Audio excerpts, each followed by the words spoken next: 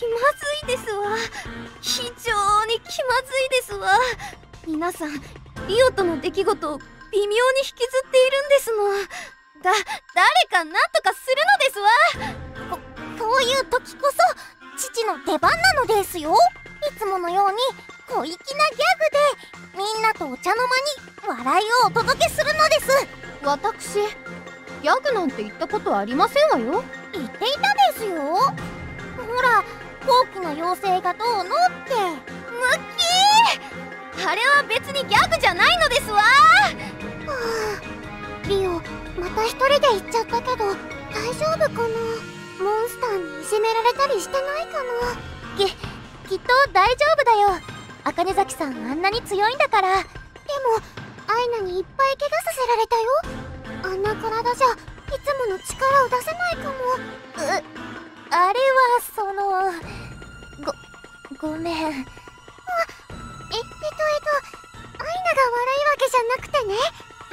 うんダンジョンの中では何があっても死ぬことはありませんの。だからリオのことは心配しなくても大丈夫なのですわ。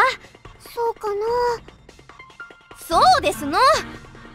こ高貴な妖精である私の言葉を信じるのですわちょっと。小粋なギャグを言ってもダメじゃありませんの？笑いを届けるどころか極感をもたらしてしまいましたわ。あギャグって認めたのです。うーこういう雰囲気は苦手なのですよ。どうすればみんなを元気づけられるですか？ララちゃんリオちゃんのことが心配なの？うん。リオ今一人ぼっちだから寂しくて泣いたりしてないかな。あ茜崎さんが寂しくて泣く？茜崎さんって一人の方が好きなのかと思ってたよ。教室でも一人でいることがほとんどだったし。うーん。一人も好きかもだけどでもリオはワイワイするのも嫌いじゃないと思うよ。うらら。リオと一緒にいろんなところに遊びに行ったことあるし。ああとリオの家に何度も泊まりに行ったし。リオがね泊まりにおいでって誘ってくれたの。あ茜崎さんが？本当にそんなことを？本当だよ。明日家に親いねえんだよな。って言ってたもん。え？それが泊まりにおいでって意味なの？きっとリオちゃんとうららちゃんにしかわからない何かがあるんだろうね。それで泊まりに行った時はどんなことしたの？うーんとね一緒にゲームしたりお菓子食べたりテレビ見たりお風呂入ったり。そうそうお風呂から上がった後リオが体重計に乗ったんだけど急に固まったりお腹つまんでため息ついてたりなんか見てて面白かったよ。へえあのリオちゃんが？なんかものすごい親近感を覚えるね。だね。リオちゃんがそんなことをしている姿想像できないよ。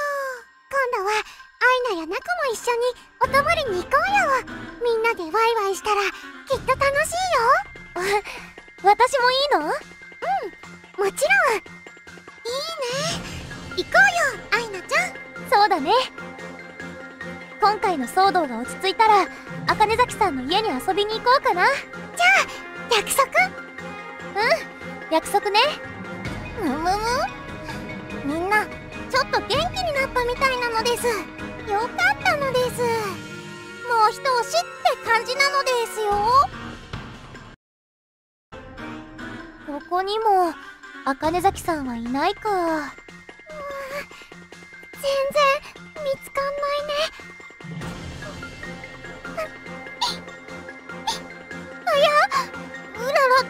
のです？泣いちゃダメなのですよ。だってこんなに探してるのにリオどこにもいないから不安で？えいぐずるな。赤ん坊じゃあるまいし。さっきは優しかったのにまた嫌なマリカになった。私は生意気なのもうじうじするのも気に食わんのだシャキッとしろシャキッと。もうマリカったら後輩相手にみっともないですわ。そんな会長。年上はもっと心を広く持つべきですわ。責任を取ってうららさんを慰めてあげなさい。わかりました。その悪かったルリカ。少々言い方がきつかったかもしれない泣き止んでくれ。どうすればいい？じゃあマリカもうちょっとこっち来て。こうかよいしょ。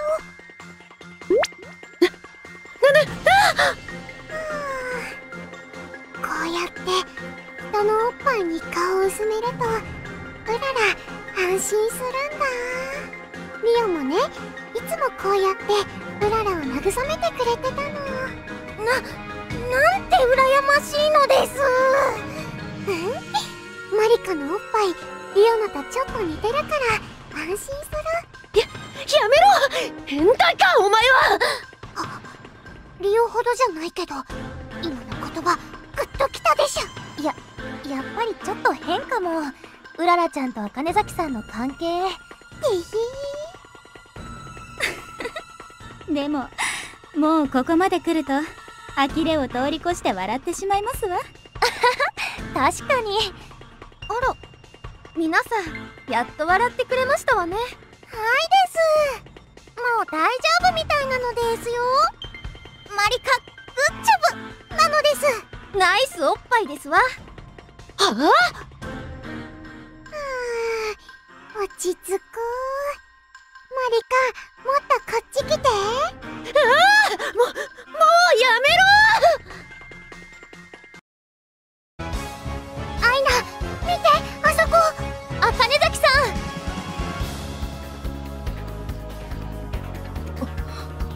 お前ら。んモンスターと戦ってる。助けなきゃ。来るな。言ったはずだ。私は助けなんかいらない。このくらい一人でどうにかできる。無理だよ。そんなボロボロの体で。リオ危ない。あくそリオにとどめ刺そうとしてる。アイナお願い。一緒にリオを守って。もちろん。これ以上私の仲間は傷つけさせない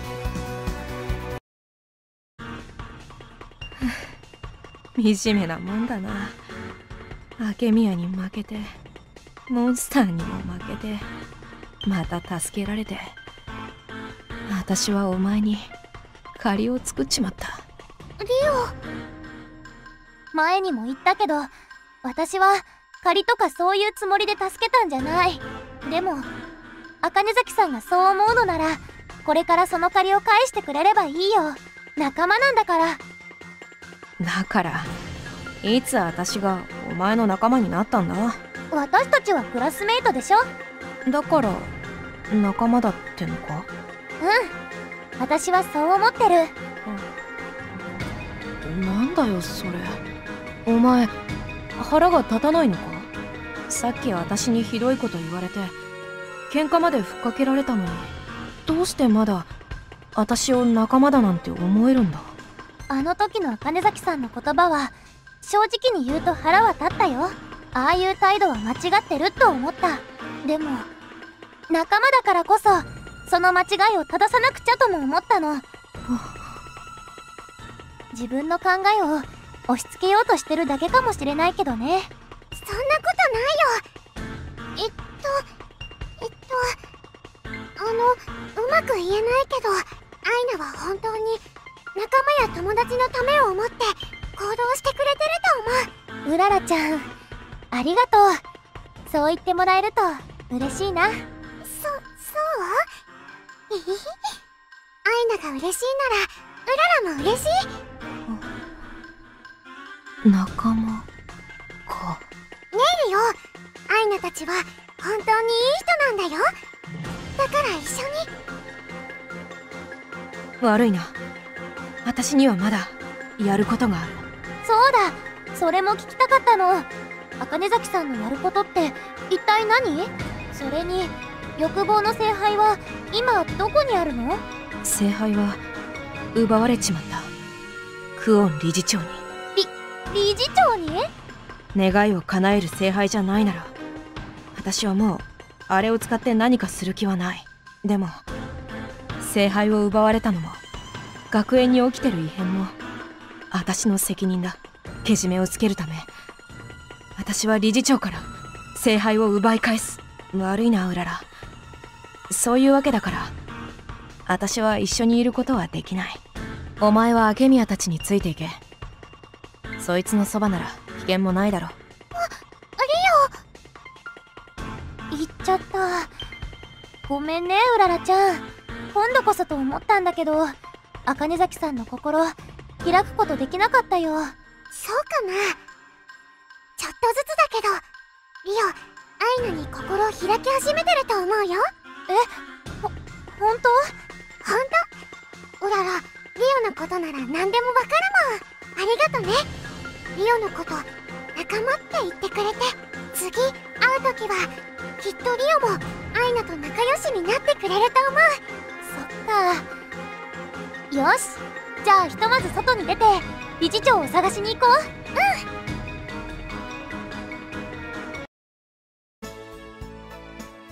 ん。どう？みんな理事長はいた？ごめん。学校の中一通り探してみたけど見つからなかったよ。そっか。じゃあ理事長はまだ聖堂のどこかに？その可能性が高いなどうして理事長が欲望の聖杯を持ってっちゃったのかな？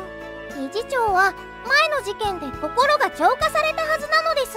聖杯を奪うなんてことするはずがないと思うのです。そうだよね。理事長どうしちゃったんだろう。あの人の狙いは一体？みんなあうららちゃんとちちちゃんが戻ってきたよ。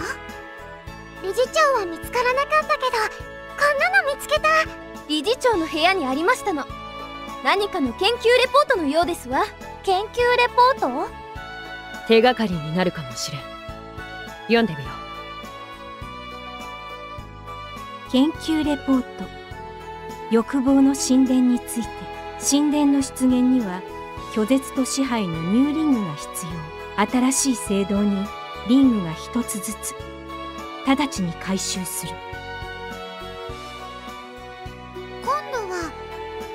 聖堂じゃなくて神殿？う理事長はこの欲望の神殿というものを出現させようとしているのか？そのために拒絶と支配のニューリングが必要なのかな？ニューリングって聞いたことあるのです。聖堂の奥にニューリングの泉があってそこである儀式をすると生まれるらしいのですよ何に使うのかは知りませんでしたけど欲望の神殿を出すために必要だったのですね。へえそうだったんですのお前パイと同じ妖精のくせに何も知らないんだな。生まれたばかりだから仕方ないですの。私はう有無で高貴な妖精なのですわ。何も泣かなくてもいいだろう欲望の神殿？って何？詳しくはわからないけど多分出現させない方がいいものじゃないかな。このままじゃ学校がダンジョンだらけになっちゃうもんね。なら話は簡単ですわ。理事長の企みを阻止するため先にニューリングとやらを集めてしまうんですの。なるほど。そうすれば神殿の出現は防ぐことができそうだね。その後で理事長には改めて話を聞くとしよう。じゃあ次の目的は決まったね。もう一度聖堂に行って理事長より先にニューリングを見つけよう。よしそれじゃあ行こう。理事長より先にニューリングを見つけなきゃね。レポートによるとこちらの聖堂には拒絶のニューリングがあるみたいです。むむ？聖堂の奥からオメガパワーの波動を感じるのです今まで感じたことのないくらい強い力なのですよ。これはきっとニューリングの泉の気配なのです。父もオメガパワーの波動を感じるです。ええもちろん。おオメガパワーの波動？よくわからないのですわ。やっぱりこの子私よりも優秀？いやそんなはずありませんの。私ここまで失敗続きでしたけど今回は必ず活躍してみせますわ。理事長の目的についてはまだわからないことが多いですがとにかく学園にこれ以上ダンジョンを増やすわけにはいきません。そうだね。みんな急ごう。なあアケミアちょっといいか？何？マリカ。聞きたいことがあるそのお前は先ほどモンスターに襲われていた茜崎を助けただろう。その行動に少しの迷いもなかった。どうしてあんなことができたんだ？どうしてって困っている人がいたら助けるのは当たり前でしょ？そうだな。明宮のそういうまっすぐな心。私は素晴らしいと思うえ？そそういう風に言われるとなんか照れちゃうな。しかし茜崎はずっとお前に敵意を向けていた。お前が助けに入ろうとした時だって来るなと言って拒絶していたそんな相手をどうして迷いなく助けようと思えたんだ。私は氷川財閥の娘として敵対する相手には容赦するなと教えられてきた。だからあの時のお前の行動が今一つ理解できない。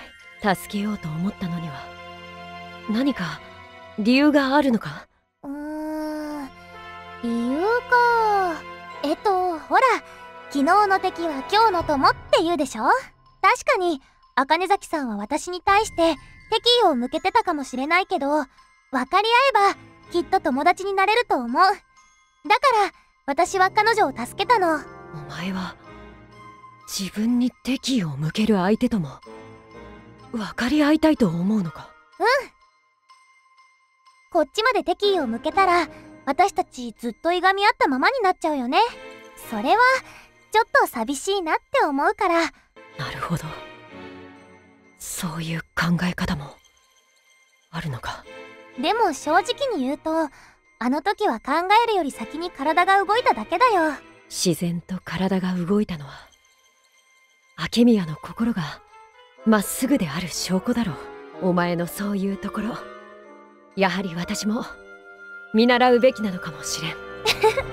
大げさだなマリカは。ちょっと話し込んじゃったね。さ先に進もう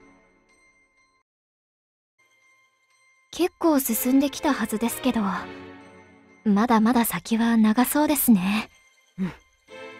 気を引き締めていくぞ。次の道は。こっちだな。おバカさんですの？そこはさっき来た道ですわ。次の道はこっちですの。二人とも違います。進む方向はこっちですますわ。ちょっと間違えただけですのよし。次の道はこっちだ。そちらはさっき通りました。あっちが正しい道ですわ。そこは今来た道です。えっとマリカちゃんとチチちゃんってもしかして方向音痴？そんなわけないだろう。私は直感で構造を理解できるタイプなんだ。わ私だってベローナが正しい道を教えてくれるんですの。だから方向なんて関係ないのですわ。そんな犬より私の直感の方が正確だ。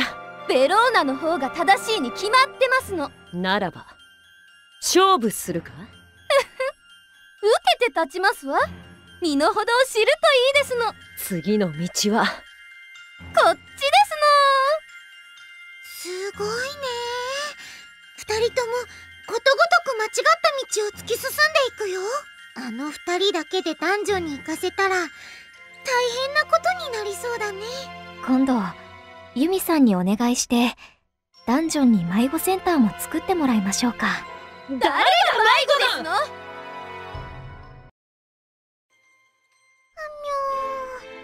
たくさん歩いて疲れたよマリカおっぱいおお前また。うららマリカのおっぱいに顔をうずめるのが気に入ったようなのです。ええやめろ。私以外にも女の人はいるだろう。だってリオに似たサイズのおっぱいじゃないと安心できないんだもん。うらら。リオのおっぱいのサイズってどのくらいなのです？ん？確か G って言ってたかな？奴は化け物かふむふむ私のおっぱい鑑定によるとですねリオのサイズに一番近いのはやっぱりマリカなのですその次はミレイなのですよ私確かにミレイも大きいよねマリカがダメならミレイのおっぱいにしよっかな。会長の胸に顔をうずめる気か。そんなことはこの私が許さんぞ。私なら別に構わなくてよ。会長。わーいミレイ大好き。じゃあ早速えい。はあミレイのおっぱいも落ち着くもううららさんたらくすぐったいですわ。ヒヒヒヒルリカはおお前。なんて裏山いやけしからんことをいやでもやっぱりちょっと羨ましい。うららさんそこまでされるとさすがに恥ずかしいですわ顔をあからめる会長。お美しい。これはこれでいいかもしれない。あ私は一体どうしたら？ひとまずダダ漏れになってる心の葛藤をどうにかするべきだと思うのです。この部屋は何だろう？部屋の奥に何かあるね。あれは泉かな？むむむむむむむ。入り口で感じたオメガパワーの波動をこの泉から感じるのです。きっとこれがニューリングの泉なのですよ。本当に？やった。なんとか見つけられたね。確かここで儀式をするとニューリングが生まれる？だったっけ？はいなのです。どうやらこの泉のニューリングはまだちゃんと形になっていないみたいなのです。未鑑定のアイテムと同じ感じなのです。ねだからニューリングを形にする儀式をしないといけないのですよ。その儀式のやり方はラコたちに手伝えることある？いえいえ。この儀式は妖精2人でするものなのです。だから父の力が必要なのですよ。わ私の力が必要ですの？はいなのです。ここれはついに来ましたわ。私の本当の見せ場が。ふふん。あなたと一緒というのが気に入りませんが。仕方ないですわね。今回は特別に。協力してあげますわ。ふふふふ。じゃあ父はこっちに来るのです。アイナたちはそこで待っててくださいなのです。うんわかった。妖精2人の力が必要な儀式か。一体どんなことするんだろう。それでは早速儀式を始めるのです。いいですけどどうすればよいんですの？私まだ何も聞いてませんわ。大丈夫なのですよ父はただ私に身を委ねればよいのです。は？何を？ひゃああなたどこ触ってるんですの？ややめるのですわ。そこはほうほう。父はここが気持ちいいみたいなのです。このおバカ。何を考えお待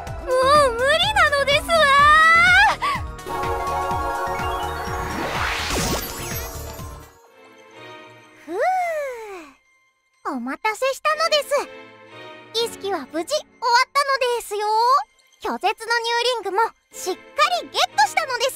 綺麗なピンク色をしたリングなのですよ。はあ、なんかパイちゃんの顔はツヤツヤだけどチチちゃんぐったりしてるよ。ちょちょっと今の何？パイとチチちゃん何してたの？だからニューリングを形にする儀式なのですよ。内容をあんまり詳しく言うと本が薄くなったりタワーが立ったりするからダメなのです。何を言ってるのかわからないんだけど。とにかくこの聖堂での目的は果たしたのです。次は支配のニューリングを見つけに行くですよ。なんか深く追求しちゃいけない雰囲気だよ。アイナちゃん。ううーん。拒絶のニューリングが手に入ったのはひとまず良かったけど本当に何してたんだろう。どう見ても私の方が高いのですわ。ええー、そんなに変わらないのですよ。あらあら。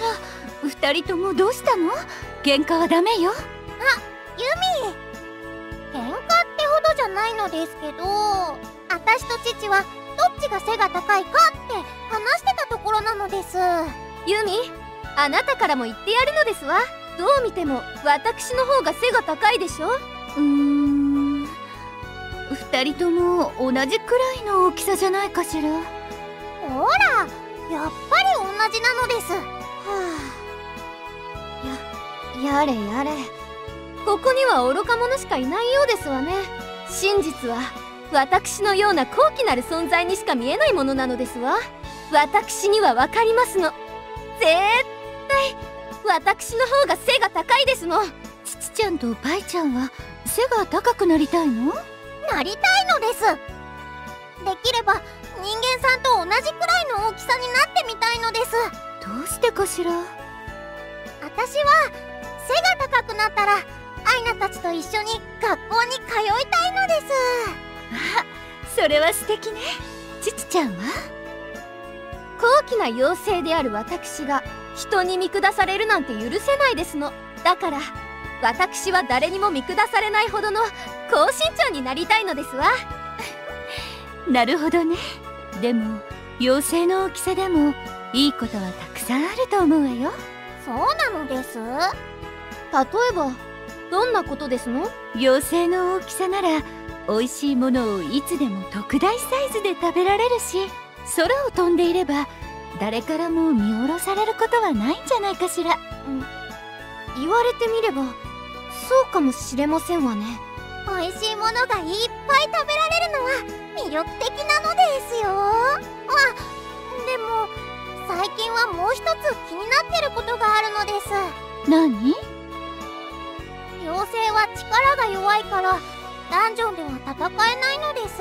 だからアイナたちが戦ってても私は応援することしかできなくってみんなと同じ大きさになれば私も一緒に戦えるし少しは力になれると思うのです。愛ちゃんは優しいのね。でも大丈夫。あなたの応援だってみんなの力になっているはずよ。そうですかね。ちなみにユミって戦ったらどれくらい強いのです？そうね。本気を出したらこの学園がなくなっちゃうかもしれないわね。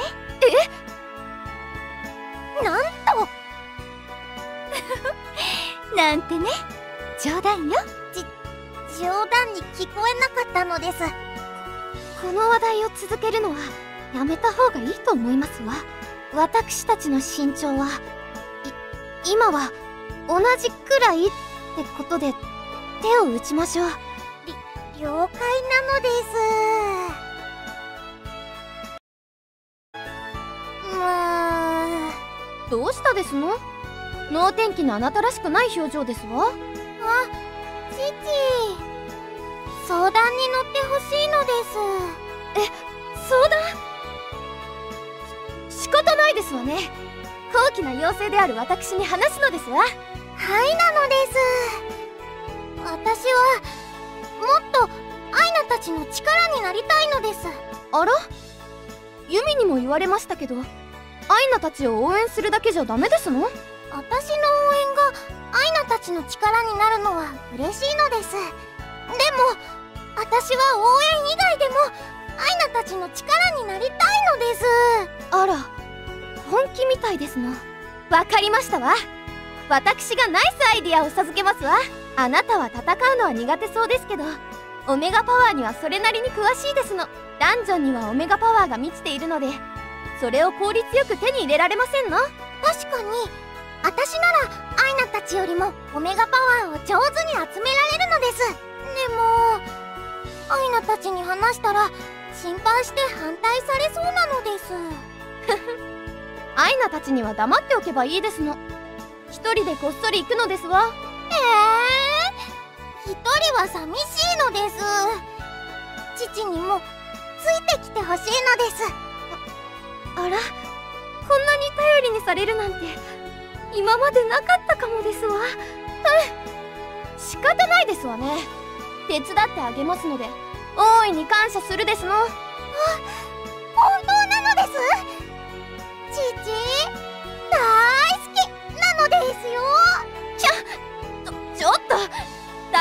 はやめるのですわ